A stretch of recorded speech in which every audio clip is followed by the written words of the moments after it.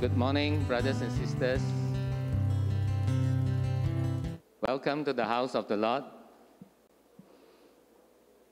We have a few minutes before we begin, so can we just uh, spend this time in a silent meditation, just expecting the Lord to bless us today, expecting the Lord to speak to us today through Sister Hui Hui and also through the scriptures. Let us just do that. And uh, I'd like to invite you to turn to John chapter 1. Before we uh, start the service,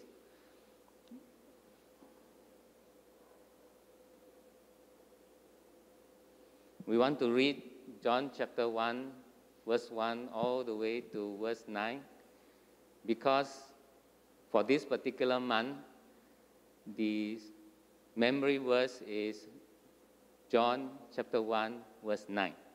Okay? So let us do that. When you're there, we read together. In the beginning was the Word. The Word was with God, and the Word was God. He was with God in the beginning. Through him, all things were made. Without him, nothing was made that has been made. In him was life, and that life was the light of all mankind. The light shines in the darkness, and the darkness has not overcome it. This, there was a man sent from God whose name was John. He came as a witness to testify concerning that light, so that through him all might believe. He himself was not the light, he came only as a witness to the light. The true light that gives light to everyone was coming into the world. This is the memory verse for this month. The true light that gives light to everyone has, was coming into the world. The Lord bless the reading of His words. And uh, Time now is uh, 9.30. Also want to uh, say a very warm welcome to those uh, folks who are online watching this particular service. Welcome. And let us stand to read God's word in Psalms 105. And prepare our hearts to worship the Lord.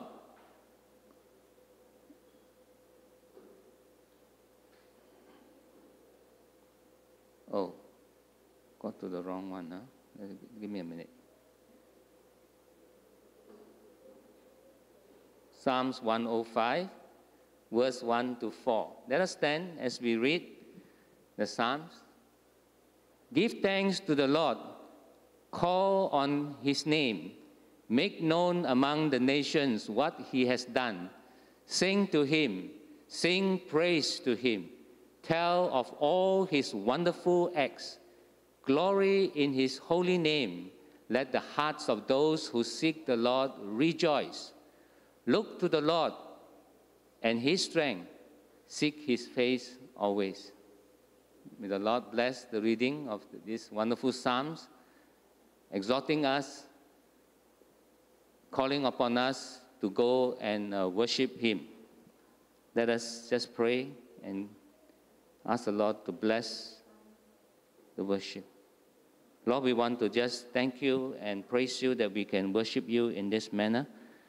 We want to just ask, dear God, that you quiet our hearts, and even as we have many things in our hearts, maybe through the week we are really burdened by many things that clouded our hearts in some some ways that sometimes we do not understand and we are troubled by some of this. And maybe through the week, we have good news. And indeed, Lord, we have good news that from next, tomorrow, we are released a little bit from the heightened alert for phase two. So, Lord, we want to thank you for this time, even in the COVID, the Lord, that we have a silver lining, not in terms of, not only in terms of that we will be released from this uh, particular uh, constraint on us, but Lord, that even through this time we treasure the fellowship, the physical uh, meeting even more because of the, the uh, lockdown and because of the times where we are separated. So, Lord, we want to just pray and ask, dear God, that you continue to lead us and guide us into close and meaningful fellowship during this time. Lord, we want to praise you and thank you that we can listen to your words today, and even as your uh, servant, Hui Hui, speak your words today, Lord, may you grant her wisdom. May you grant her the words to speak from your very heart. So, Lord, we want to thank you. We want to praise you. We are waiting for you to tell us what is your will today. So, thank you, Lord Jesus. All this we pray in Jesus' name. Amen. Please be seated. Let us just worship the Lord.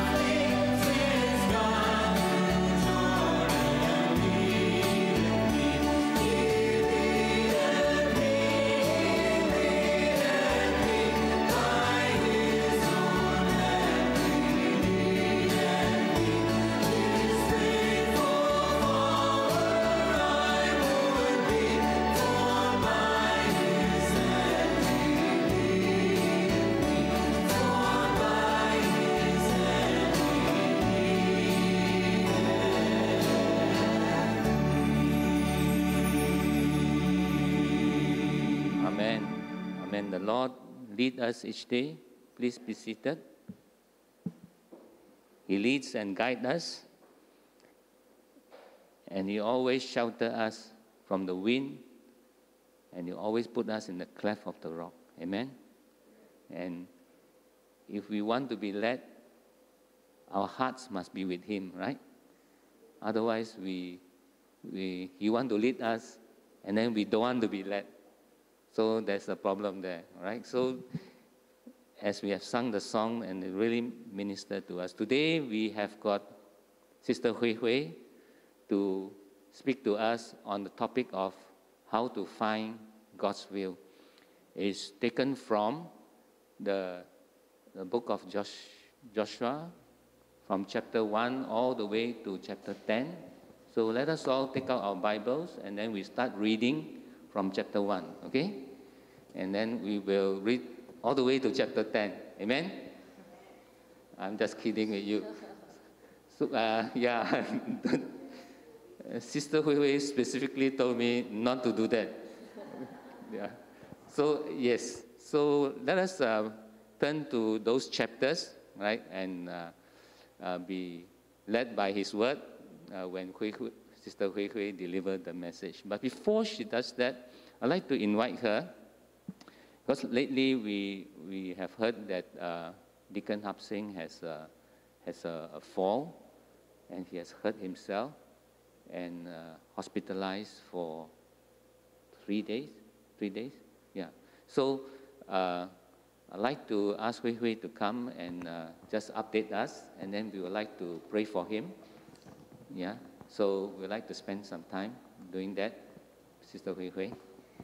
Uh, thanks for the opportunity to uh, just share. I mean, yes, he fell a few, few days ago, and then uh, just out of precaution, we brought him to the ER just to see if there was any internal injury. And there's a bit of a small bleeding at the back, you know, of his brain, but it's not dangerous. So he's still under observation, uh, just to see whether, you know, whether his condition is stable. So far, it has been stable. Uh, so we are grateful for that. They will do one more scan before they discharge him. So yeah. Okay, okay, okay.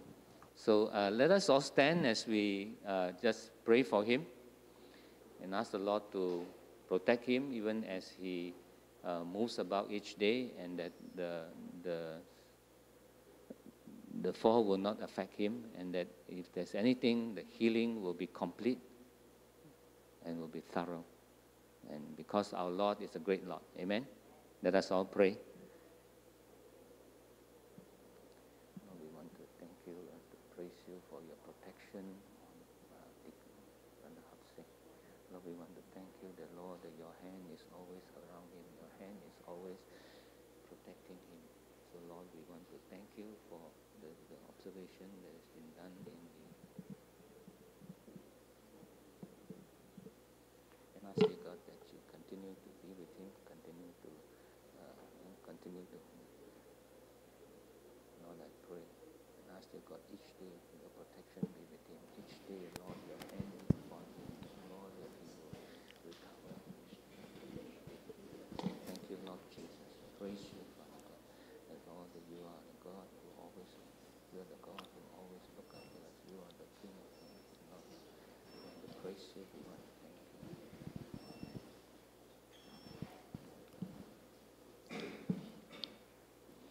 Let's commit uh, our beloved deacons of saints unto God's hand. Dear Heavenly Father, we like to pray for Deacon Hapsing at this moment.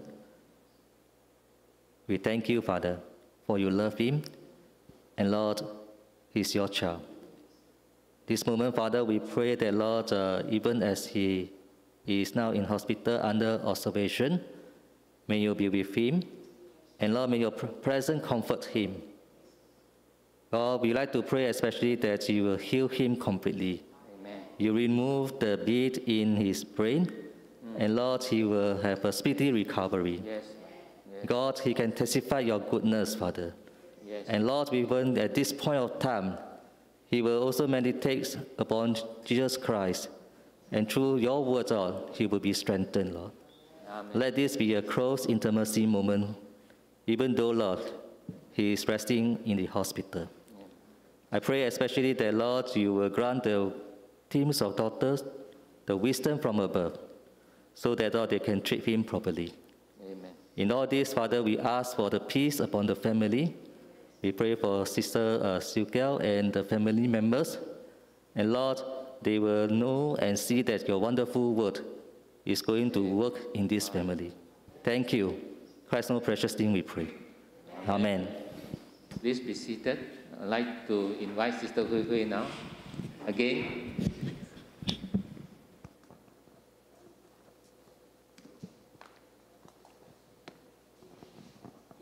Oh, yes. Thank you. okay, thanks, thanks everyone for uh, praying for my dad and just remembering him. We really appreciate that. Yeah, we really thank God for um, watching over him actually, because when he fell, it was like the last bit of that walk. He was on his morning walk, and then, you know, he fell quite close to home, and then there was um, renovation works happening in a house like two houses down. So the construction worker in that house came out and actually carried him because he couldn't walk, and carried him home. so, I mean, we really. Um, even in our accidents, you know, and falls and all of like in our injuries and accidents of life, uh, we really see God's hand uh, on us, right? So we just really thank God for that. Okay, this morning, I have to wear my mask, right? Or can take out?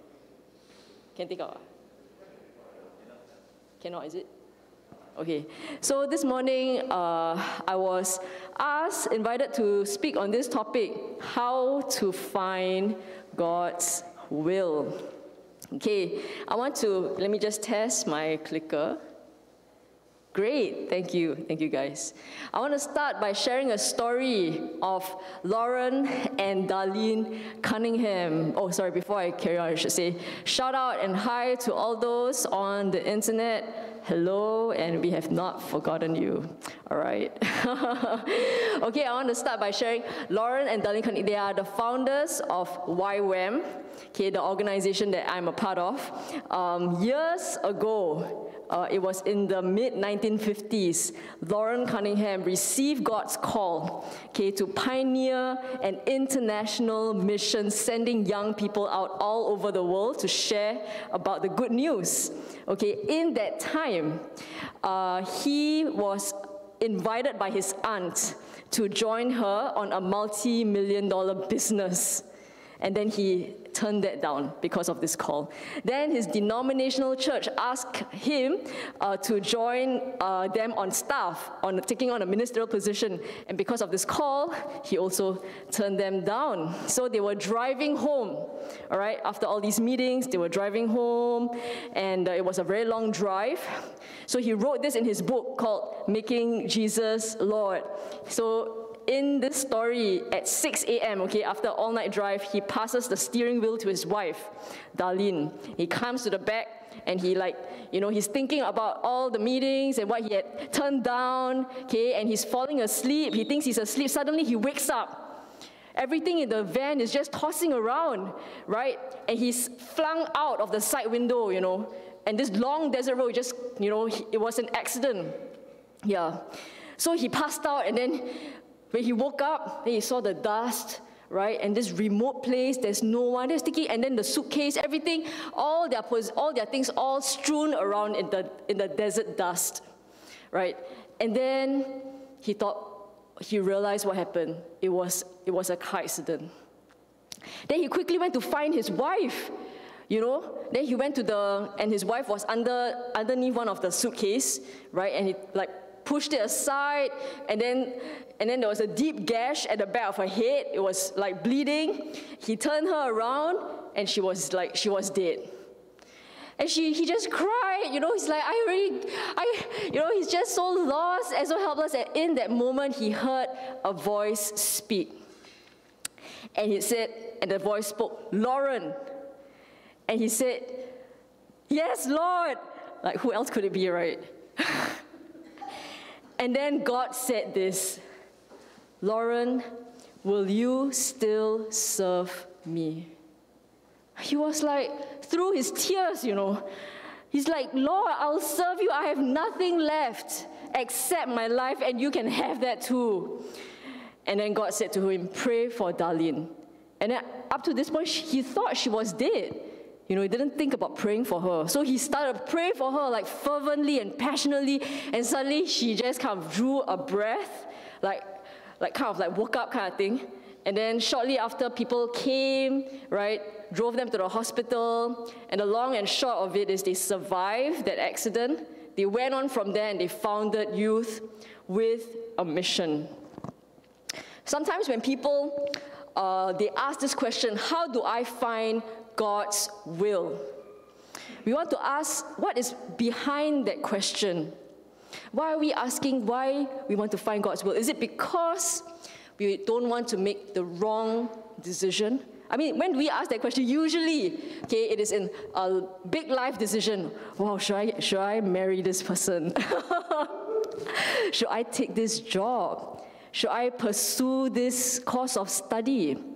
You know, and I'm, I want to make sure that this is the right choice. I don't want things to go wrong. I mean, there are many different reasons why we want to find God's will, but my question for us this morning is we, are we seeking to find out what God's will is because we want to do it no matter what? That is my question for us this morning. So, as I uh, speak uh, this morning on this topic, I'm going to cover uh, three things. Okay, number one, uh, sorry, let me just try to blank this out. How do I do that? Oh, great. Okay, number one, God's heart. God reveals his will to those who are ready to do it. Number two, God's way. God wants us to partner him every step of the way. And number three, God's glory. God wants to impact the world around us with us. Amen. As I begin, let me just open us with a word of prayer.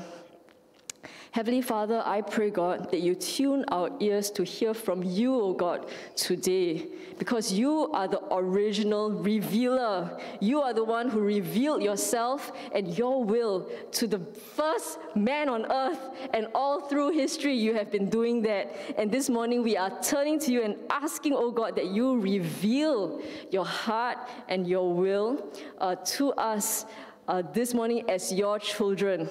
Um, members of the local church, RBC, yeah, we pray, God, that you speak to us this morning and that we will hear and that you will help us to do it. In Jesus' name, amen. All right. Number one, God's heart. God reveals his will to those who are ready to do it. Okay, I don't know, I think the text is a bit small, but let me just read uh, Joshua chapter 1, verse 1 to 6. Maybe if you can read it all together, okay, just uh, join along with me. Okay, one, two, three. After the death of Moses, the servant of the Lord, the Lord said to Joshua, the son of Nun, Moses' assistant, Moses, my servant, is dead. Now therefore arise, go over this Jordan, you and all these people, into the land that I am giving to them, to the people of Israel. Every place that the sole of your foot will tread upon, I have given to you, just as I promised to Moses. From the wilderness and this Lebanon, as far as the great river, the U- river Euphrates, all the land of the Hittites to the great sea, toward the going down of the sun, shall be your territory. No man shall be able to stand before you all the days of your life. Just as I was with Moses, so I will be with you. I will not leave you or forsake you. Be strong and courageous, for you shall cause this people to inherit the land that I swore to their fathers to give them. Wow, that was a pretty long passage. Good job, everyone. Okay, what do we see from this passage? Number one, the Lord said. the Lord spoke. Okay? So we see that God is the one who initiated contact with Joshua. Secondly, what does God say? God is very clear with Joshua what he's supposed to do, right? He says, Go over the Jordan into the land that I am giving you. And then in blue, okay, the last line, he says, You shall cause this people to inherit the land that I swore to their fathers to give them. So we see God gave Joshua very clear instructions. Not there, not there, over there, right? Cause the children of Israel possess this land all the way to, okay, so he also tells him where, right? But he doesn't just tell him what he's supposed to do, God also tells him what he is going to do. He says, I am giving this land to you, right? So if you look, and okay, then the last thing is, what else did God say? He said, he didn't just talk business, okay? He didn't just talk mission about what you're supposed to do. He also he was also personal with Joshua, right? He told Joshua, "I will be with you. Be strong and courageous. When we look overall at the way that God communicated with Joshua, what do we see? He told Joshua what he's supposed to do. He told Joshua what he is going to do. And then he also told Joshua, uh, you know, he also gives like some extra words, you know. And then if you look at the way that he talks about the land, I mean, actually, oh, actually, God, you can just tell Joshua, go and take the land. Okay, from here to here, the, geo, the geo coordinates from here to here, done, right? Don't have to ask questions, okay? But then you see the way that God communicates. Every place that the sole of your foot will tread upon, I have given to you. Wow. But must he put it across like that? Everywhere you step, you know, everywhere you step on this land, I give it to you. this is not business talk, right? He's going over and above what he needs to tell you right? We see from this long passage, God is an over communicating God. God loves to communicate, He loves to speak. When we think about the first five books of the Bible, who is calling who? Who is calling who? Right? God is the one who called Adam. Adam, where are you? oh, I'm hiding. Right? Abraham, go. Isaac, stay in this land. Don't go to Egypt. God appeared to Jacob. Right? Jacob and Esau, yeah. Jacob in a dream. Right? So we see that all through history, God is the one who initiates, He reveals Himself, His will, His heart to men. Sometimes, sometimes we have this idea, all right, or thinking that God's will is, um, sorry, that God's will is hard to find. We have this idea that God is hiding or that it's difficult, you know, to find out what He wants, right? We must go hunting for it. Or we must fast and pray night and day so that I can, I can hear from Him, you know, is she the right one? okay? So, so sometimes we think that God is hiding himself, but nothing could be further from the truth because God loves to reveal himself. Okay. But next slide. God wants us to know him and his will. But we must understand, okay, we must understand one thing. When God reveals his will, he is, I mean, when dad tells you when dad tells you to do something, is it for your consideration? It's for your obedience. because he's dad. The Lord is God. When he reveals his will, it's not for us to consider, it's not for our information, it is for our submission. We must consider Joshua, what kind of man, what kind of man was Joshua that God over communicated his will to? In Numbers chapter 14, Moses sent out 12 spies. 10 of them came back and said, You know what? There are giants in the land. Let us choose a leader, go back to Egypt, to the land of our slavery. How about that? Okay, Joshua and Caleb were the only ones who said, If the Lord delights in us, he will bring us into the land and give it to us. Only do not rebel against the word of the Lord. Joshua and Caleb valued submitting to God's will above all else above possible death, right? Above their personal safety. In Exodus 33, verse 11, we see that when Moses goes to the tent of meeting to speak with the Lord, Joshua will continue to remain there even after the meeting is over. You know, Joshua was a man who valued God's presence. To a person who loves to do God's will and who enjoys and loves God's presence, God comes and reveals his will.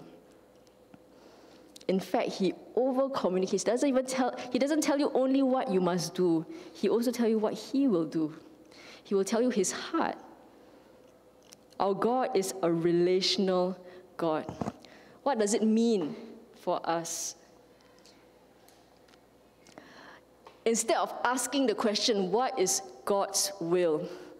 We should be asking this question Am I ready to do His will? Am I ready to do His will? No matter what it takes, no matter what it costs me, if you are someone who is ready to do God's will, God will come and find you. God will take the initiative to reveal His will to you. I'm reading, I was reading a book called um, I Walk, He Leads. I'm walking, he is leading. And the author of this book said, You think about the people that got called in the Bible. They were not specifically looking out for God's call, right? David was not asking to be king, you know. Samuel was not asking to be a prophet, right? Uh, Barnabas and Saul were not asking to be missionaries. It was in a time of prayer. They were already in God's will.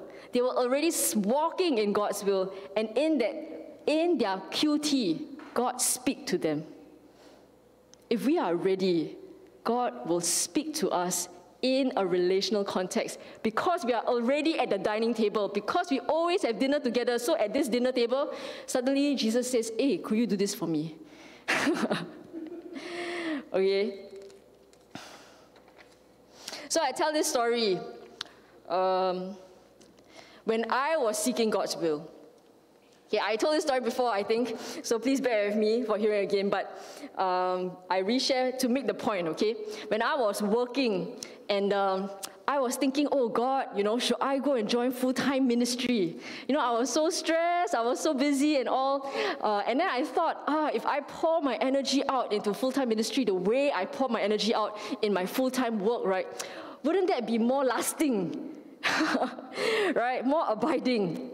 And then one day, when I was in the car, okay, I'm drifting, okay, I'm not really, uh, I think someone was driving mine. Anyway, I was like lost in my thoughts. And then I, and I just felt God say, I felt this question come to my mind. And the question was, wait, wait, if you had to choose between a life of impact and a life of surrender, which would you choose? Then the second question he asked is, if you had to choose between full-time ministry and full-time devotion to me, which will you choose?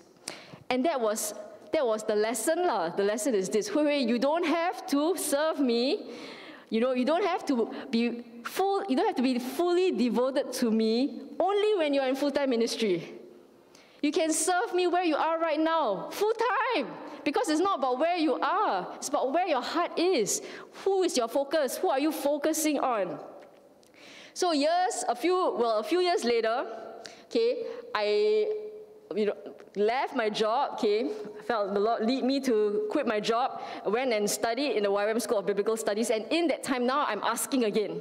Now I'm asking again, God, where are you leading me, right? Um, but this time, I changed my question. The question is not, God, you know, sh- I, you know, um, is it marketplace? You know, is it full-time ministry? Now I say to God, whatever you show me, help me to do it. Whatever you reveal to me, help me to obey. You want to shift our focus from asking, God, what is it that you want me to do, to God, when you show it to me, help me to be ready to do it. It's not the task, it is the person. Help me to be someone who submits and obeys your will. Number two, God wants us to partner Him every step of the way. In Jericho, chapter 6, Okay, God gives his battle plan. It's very clear instructions. March around the city how many times? Okay, once for six days. And then how many people? Have seven priests carry the trumpets uh, of ram's horn in the front. Then on the seventh day, okay, the seventh day you march seven times with the priests blowing. And then when they when everyone hears that you make a long blast, well, I tell you, God is very clear. You cannot miss it. When only when He makes a long blast, then have everyone make a great shout, and then the walls will collapse and the army will go in, everyone straight in. Okay, he, okay, God is a clear communicator. Okay, I, I, I love that about him. and then with Ai, this is the second battle. God says to Joshua, set an ambush where? Behind the city. So we see that God gave very give instruction, right? How are you supposed to take it? Take the city. Then we come to the, the story of Gibeon. I think all of us are more or less familiar, okay? okay, with, with what happens here. What happens is that um, the men of Gibeon, they hear what happened to Jericho and to Ai and they get scared, right? Because they know, actually prophesied in the time of Abraham already, the land of Canaan is going to be judged by God if they do not repent. They are among the inhabitants, okay? They are also going to be destroyed with the rest. How? Well, we better how to save our skins, man. So they, they dress up all right? They put on like worn sandals, yes, you know, all kinds of, take out, take the bread that is very crumbly, you know, pretend they come from a very far away place. Then they come to Joshua and the men with all of their, looking very haggard and look at, like, you know, travel very far and they say, we are from very, very far away. Make a peace treaty with us. Okay, and then, and then um, Joshua and the men ask, how, how can we be for sure, you know, like, what if you are actually among us? They say, no, no, no, take our word for it. You see, you look at our wine skins, you look at our bread. And then, and then they said, it says here in the Bible, the Israelites, they sampled, they inspected their provisions, but they did not inquire of the Lord. And so Joshua made a, trees, uh, a peace treaty with them, let them live, right? They, the leaders ratified the treaty. Three days later, they realize that they are just their neighbor nearby. Now their hands are tied, you know right? They are, wow, why do you make life so difficult for yourself, Joshua? That's my question, right? You're between God's word and your peace treaty, right? Stuck. But anyway, they made the decision, okay, that they will honor their peace treaty because they made this treaty before the Lord. Okay, God graciously allowed for this, okay, in, their, in His grace. Okay, so I asked this question, right? I asked this question, why? I mean, until this point, God has been speaking, right? why did they not? Because the, the, the author, okay, especially, oops, especially highlights, did not inquire of the Lord. I mean, is it because he would not speak? Would he not help them? Would God not know of everyone? God, of course, will know that they are being deceived. I ask this question, but we also need to ask ourselves this question. Why? The question is, do we, do we inquire of the Lord?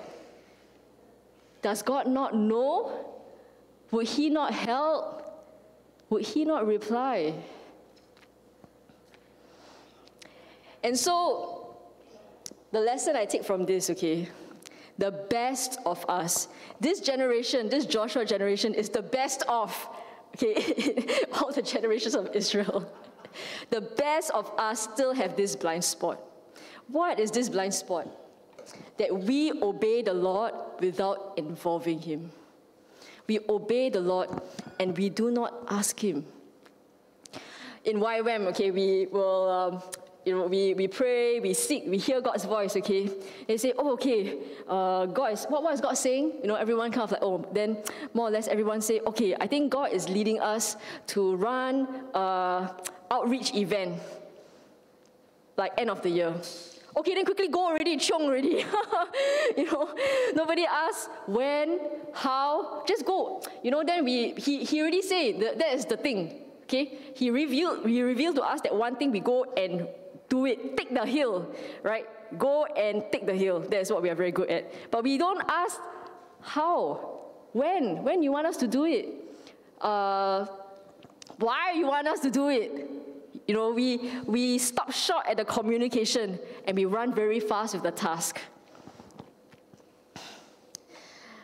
God wants to be in the process with us. He is the main sponsor. He commissioned the project. He gave you the word. He said, go and do it, right? But He wants to also be in it with us. But more important, the more important reason why we should be consulting him is not just because he is God, King, and he's the one who called us to do it, but because of relationship. Because of relationship. A friend was asking me, you know, I was having this uh, coffee chat with her.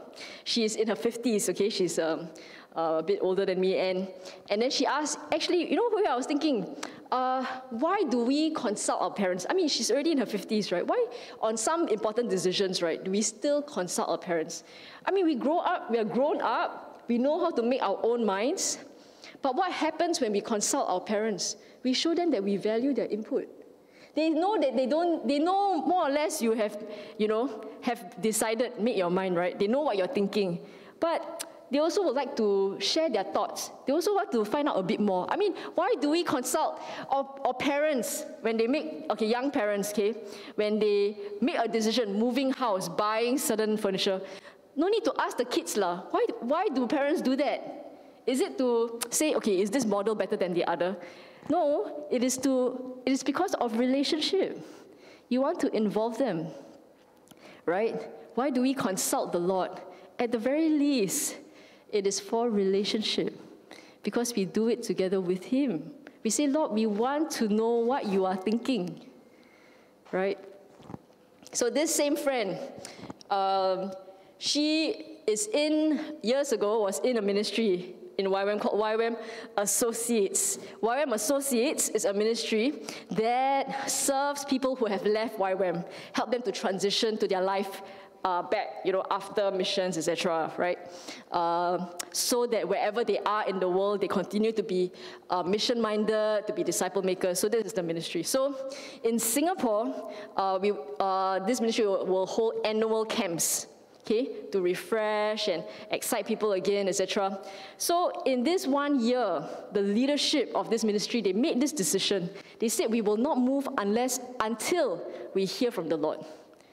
Yeah, we will intentionally wait and not move until we hear. So that year, they came together, they prayed, right? Usually they hold these camps overseas where it's cheaper, okay? So anyway, they prayed and they asked God, okay, where, you know, where you want to hold it? He said, Singapore. I said, okay, Singapore very expensive, okay. but then days later, it turns out that a church opened up their premise and let them use it. Okay, so now they're okay. Then they asked God, um, now they asked God, uh, okay, so in the time of prayer, uh, God said to them, hold a love feast, which is a dinner. Wow, cost is already like, okay, you want to hold a love feast? They say, okay, we will do it. Where? At the hotel next to the church. so they go and book, okay, they book the restaurant at the hotel. And then now it came to how much to charge for the camp fee. Usually what, what will Singaporeans do? They project lah, uh, total cost, total attendees, estimate, break even. So they bring their fee, the pricing to God, you know, and also ask about this. Uh, and then God said, reduce, reduce your fee. now they are in a deficit. already to set the price uh, is already faith step. Uh. Now you want to reduce it. And then God said, why don't you seed into it yourself? so they seeded into it, they gave towards, okay? Then after that, the miracles start to flow in. During the camp, one of the days, they felt prompted to pass, uh, ask for a love gift. La. They didn't have like a bag or what, they just took some bed sheet, you know, then makeshift, and then they just pass around, uh, not really expecting anything, okay, but they just follow the Lord's leading. And when the money came back, oh my goodness, people gave so much. It overflowed, you know. Now they are not only able to pay off all their camp expense, they have excess. Then my friend said, oh, I thought, well, this excess, uh, well, next year is going to be better, right? Because you have seed money. But then after that, they prayed, and then God said, Give the money away. So they gave the money all away. and then and then the dinner, the restaurant. The restaurant, you must book number of packs beforehand. So it's a commitment now. You don't know how many will show up, right? But you just pay first. Then on the day of the dinner, the love feast, right? They had favor with the restaurant manager. Then the restaurant manager said, hey, it's okay. We just charge you based on number of people who show up. Yeah. So that also reduced their cost. And then one of the people who prayed together said, hey, do you notice uh, in this restaurant, there are round tables with white tablecloths. Why is that important?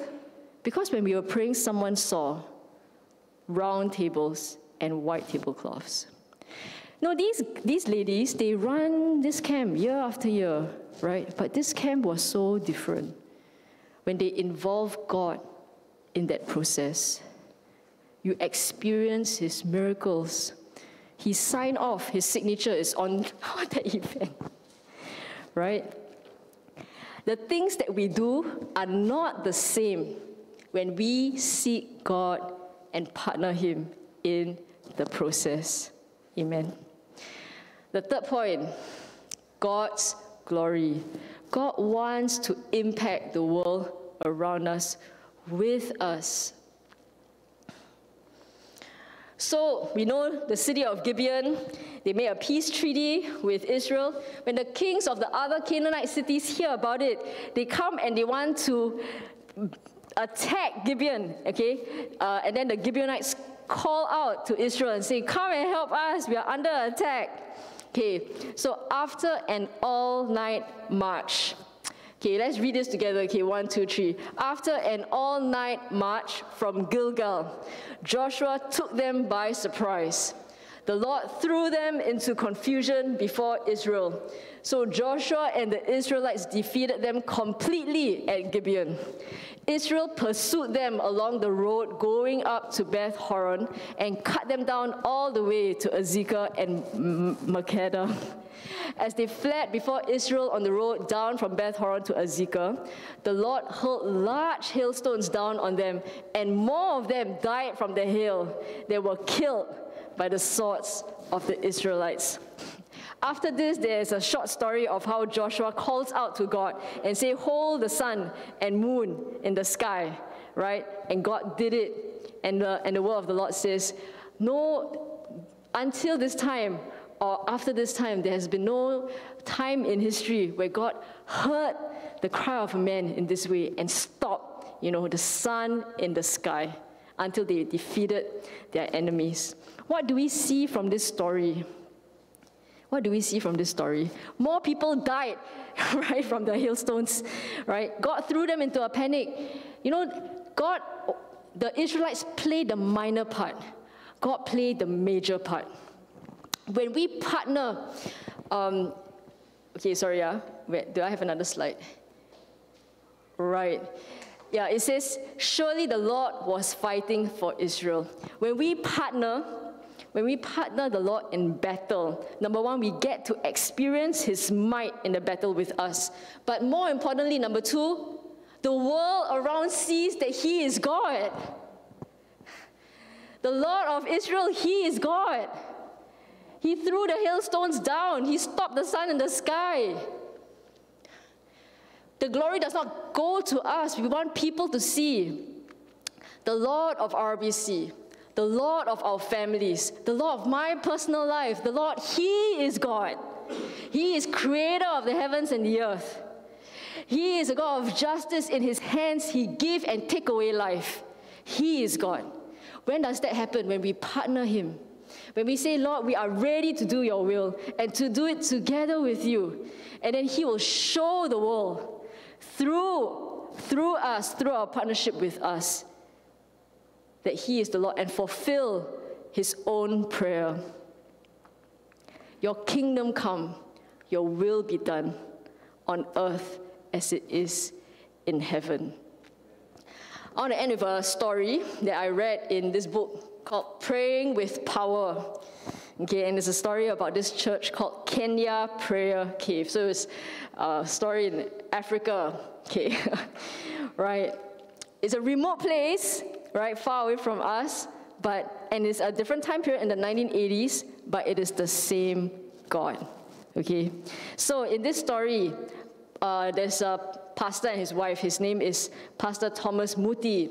In the late 1980s, Okay, they were returning to Kenya, and then when he was praying one day, he heard uh, the Lord said, I want you to plant a church in Kiambu. Kiambu is a city in Kenya, which is not far from where he is.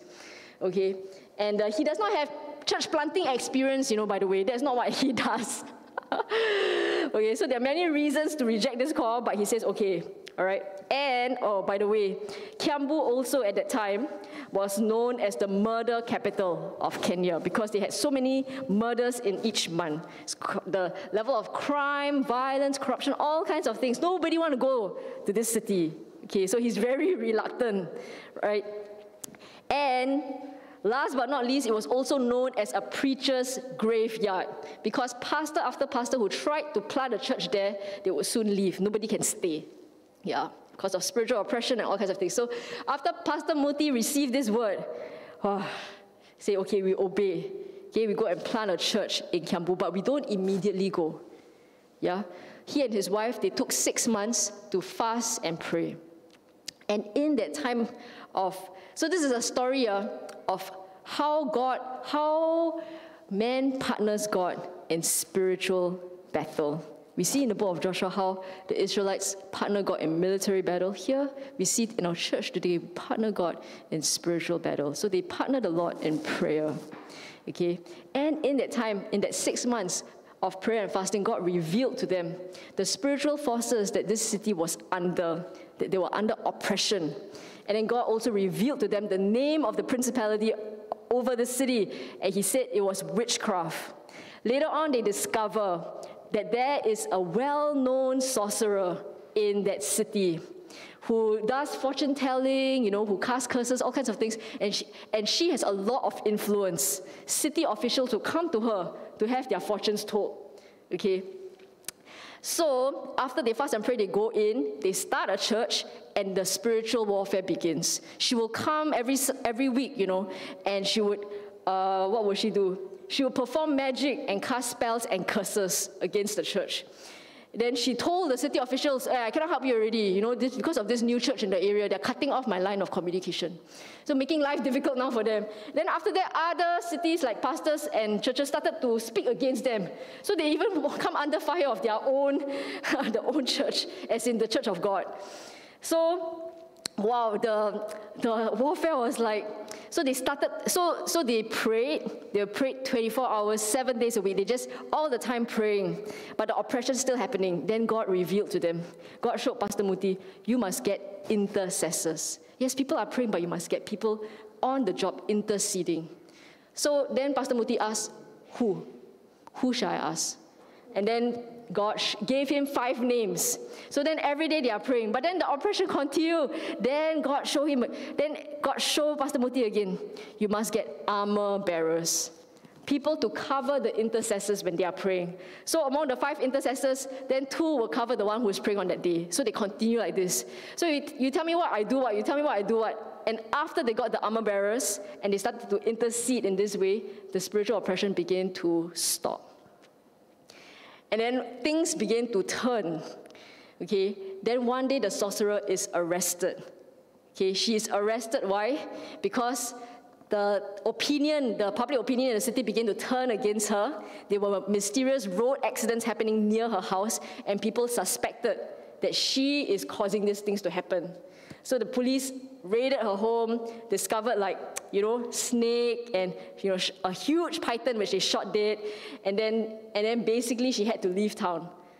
And after she left, right, after she left, he said, the city started to change. And even people in the city notice, you know, they start to see there is a relationship between the powers, the spiritual powers that they are experiencing, and the things that they are seeing, because the city became, the economy began to revive, crime rates began to fall, there was less and less violence. Even the hardest, the most notorious criminals, right, in the city came to the Lord and attend their church. Then Pastor Muthee had so much favor with the police chief. He said, you know, you can go, I give you permission, go anywhere in the city, whatever time of the day, turn your loudspeaker however loud you want, you just do it, you don't need permit. You know? Could Pastor Muthee have done all of this? Can he cut spiritual oppression? Can he turn the economy? Can he soften people's hearts? He cannot. Right? Pastor Muthee played the minor part. God played the major part. Right? What, God, what Pastor Muthee did was that he obeyed God.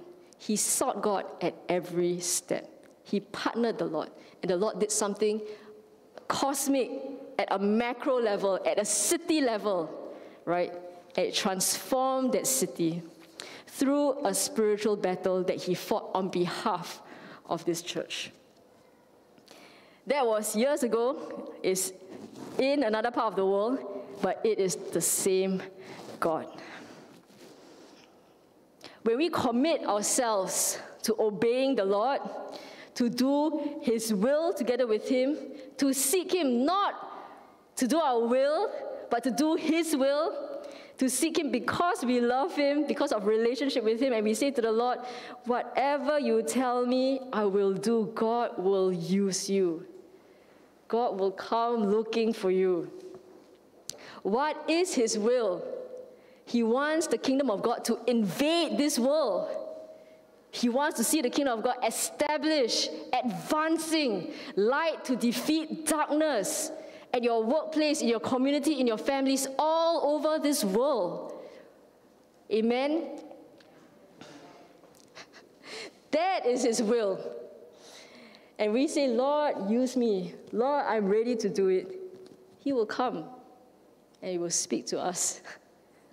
How shall we do this together, right? So, as I close, I want to give us, I want to challenge us. Okay, as I close, I want to challenge us. Are we ready? Are we ready to say to God, whatever you say, I will follow? Right? Whatever you say, I will do. That could be a bit of a far call, okay? But then if that is too far, we can ask a second question. And that question is God, can you make me someone who is ready to follow you? No matter the cost, right? No matter the price. So I want to put this two challenge out there, all right? And I'm not, I mean, I, I'm not challenging myself in this right now because I am challenging you, right? So I just want to pray for you, okay? If you want to say to the Lord, Lord, okay, our first challenge is a bit higher, okay? Lord, whatever you say, God, I will do, right? You show me, I will do. And the second challenge is, Lord, make me someone who is ready to follow you no matter the cost. Okay, I want to invite you to respond to these two things, okay?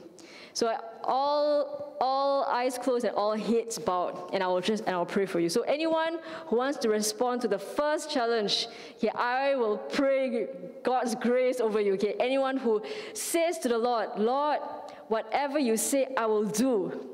Right? Okay, I want to pray for you. Lord, whatever you call me to do, I will do. You know, God said uh, I can't remember who it was who said, You give me 12 men, right, who, no, who wants nothing but the will of God to be done, and I promise you I will change the world. God is looking, looking for men and women who say, Yes, I will follow you. I want you to raise your hand. I see your hand. I see your hand. Okay. Now you can put your hand down. Now, second, the second, the second challenge. Lord, make me Okay, I don't feel confident. You ask me to do what I do what, but you make me someone who will obey you no matter what. Make me this person. Make me become this person. I want you to raise your hand. Okay, I see your hands. See your hands. Thank you. Okay, put your hands down. Lord, you see, these are your children. They are not responding to me, you know, or to like the, the message or Lord, they are responding to you, oh God. They raise their hands before you. Father, I want to pray, God, for those who have raised their hands to say, Lord, whatever you show me, I will do. And Father God, I pray, God, I pray, Father God, that you will speak to them. God, Lord, that you will pay a personal visitation, God, to them. You know, Father, to speak to them about this commitment that they have made. I pray also, Father, that you will help them and those who raise their hands to the second challenge. Uh, Father, I end the first challenge. I pray, oh Father God, that you will help them, Lord. That, Father, that you will help them to die to self, help them to kill their self will, Help them to humble themselves before you. Father, I pray that you increase their faith, that you build their faith in you, so that whenever and whatever you call them to do, they are ready to respond and to obey. Father, I pray this is a work that no human being, not even us, can do in ourselves, but we are looking to you and ask that you do it in us, oh God. You change our hearts to become men and women, to be children, children of God who want nothing but your will to be done and who are 100% confident of you and 100% trust in you. I pray, oh Father, for I plead for the blood of Christ to cover us. I pray, oh Father, for an outpouring of grace over us. We lift our commitment and our response to you in Jesus' name. Amen. Amen.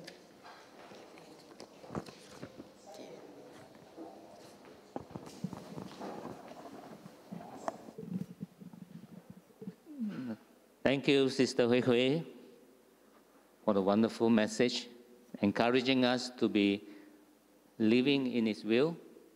Are we? Are we living in His will? The next associated question must also be Are we living in His guidance? So that actually calls for a very close and daily relationship with Him. And how do we do that? It's every day abiding, every day remembering any, anything that you have read from His Word. Our any any any passage, even one verse from the Bible, that is communication with our God. Amen. And also communication with His family. All of us here. I was just having a, a very brief conversation with somebody who came very early this morning, and, and, and we were just talking about praying for each other and remembering each other. Sometimes I, I have uh, some very faithful brothers. They will unfailingly text me every morning, unfailingly. Sometimes I fail them. I feel very, I feel very bad. And each time I receive their text, I know they are praying for me. And I pray for them too. So this is the kind of uh, abiding with each other, having close communion with each other. Although the COVID has separated us in, in some, some ways, but we, in our hearts, we crave. There's always this silver lining. I was thinking about it this morning as I came in the MRT. Everywhere I go, it's almost like empty. And then the first person I see, oh, I feel so good. You know, so why do I feel so good? It's because I don't even know the person actually. why do I feel good to see one, one soul, you know, the guy who's sitting there at the, at the MRT, you know, that, that uh, everywhere is so, so like empty and desolate. The first, first person that appeared is like the, uh, another human being, you know. So our daily walk with our God will bring us to know His will. And our daily walk with Him actually will bring us to a relationship with Him that we can trust His guidance. And this is something that I have learned today. Uh, thank God for this message. And uh, may we rise to give glory to God.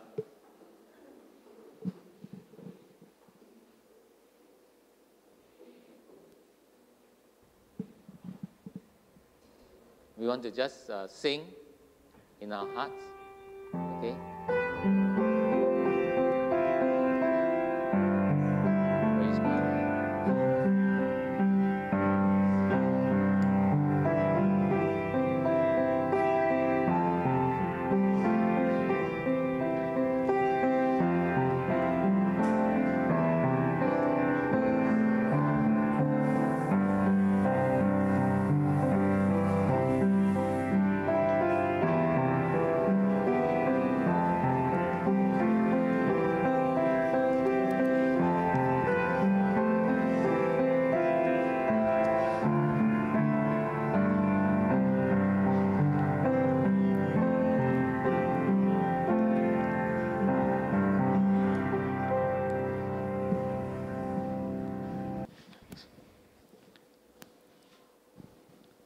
Let's receive the benedictions together.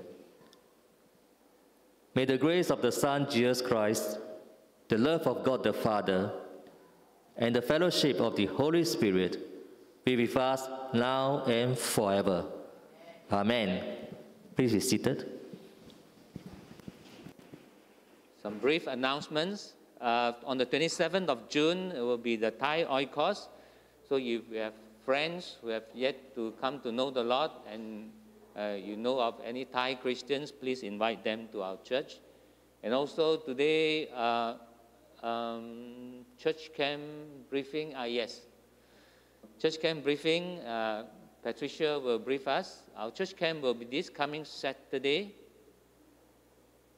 This coming Saturday. Uh, yeah, this coming. So, Patricia, please. Uh, yeah. Online church camp. Yeah, So just to remind everyone, uh, the registration, as I've uh, not, uh, announced in the uh, fire meeting group chat a uh, couple of days ago, uh, it will all be online. So that Sunday, don't come to church.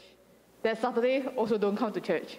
Yeah, so um, please register by 17 so that I can collate, and especially for those who wishes to have uh, the $15 for per, per lunch meal, um, being blessed to you all. Um, uh, please, please do indicate in the form. There's, there's, the, there's an option in the form, so please do indicate and uh, indicate correctly uh, for, for, for whoever who is the applicant who is actually applying on behalf of whoever you are inviting. I will make you the responsible person to receive that whatever $15. Then I leave it to you to go and distribute it to the relevant people. Yeah, so uh, please do it by 17 because I need time to just uh, sort out the admin work. And um, if it's PayNow, PayLah, uh, you'll be receiving it directly from me. La. It's easier for the church. So uh, please take note. And um, what else? Uh?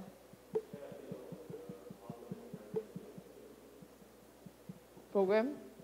Um, well, basically, uh, we will have the regular program like uh, online seminar, like a webinar. So uh, it's 9 to 5, but um, uh, the, there'll be breaks in between. Between 9 to 12 and uh, 1 to 5, that is where, the, that's where Pastor Juan would, would have uh, his material shared. So we'll leave, um, we'll leave the 12 to 1 as a, as a lunch time.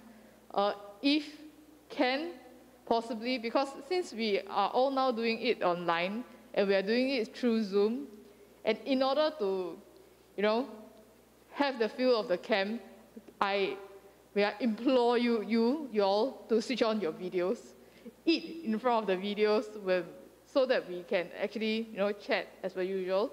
Yeah, um, don't be shy. Don't switch off your video, so that open so that we can all see everybody's faces lah. Yeah. So uh, I reiterate again, this coming Saturday, Sunday, don't come to church. Yeah. Um, and then following Sunday, right? Uh, just for everyone uh, to know, we will be rearranging our seats given the new ruling. It'll be five per groupings now. So, yeah, yeah, I think I'm done already. Okay.